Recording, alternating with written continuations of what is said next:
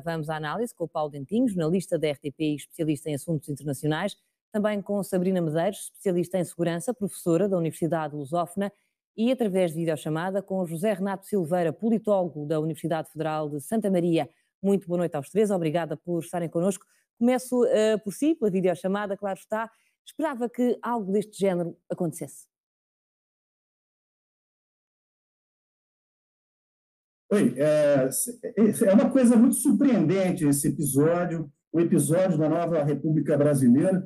É, talvez o período mais sombrio desse período da nova República é algo que causou indignação, causou tristeza, causou revolta, né? sinais de barbárie e selvageria prédios públicos né, que representam o coração da democracia brasileira, né, obras de arte. Então, foi algo assim que segue um pouquinho esse movimento bolsonarista que foi ganhando corpo, que foi ganhando força ao longo desses últimos anos. Se a gente for fazer aqui um breve inventário a respeito desse ataque à democracia, a gente poderia relembrar esse, esse último ano de 2022, né, que a democracia brasileira resistiu a diversos golpes. Vamos lembrar, primeiro, o estelionato eleitoral nas eleições.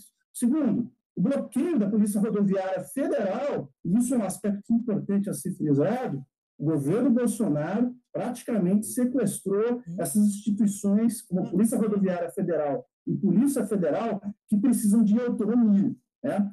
E houve então bloqueio da Polícia Rodoviária Federal no Nordeste, né? tentando obstruir a votação da população nordestina.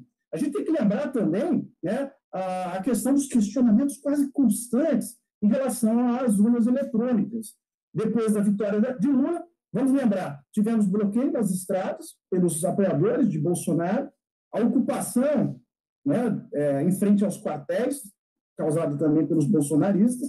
Já tivemos também um ensaio do que aconteceu ontem, quando houve a ruaça pelas ruas de Brasília e aquela tentativa frustrada de bomba no aeroporto de Brasília. Vejo que, então, são diversos episódios que mostram como que a democracia brasileira ela resistiu, ela foi forte, ela foi resiliente, mas, de fato, parece, aqui fazendo uma analogia como de um boxeador, é, quase sofreu o knockdown, né?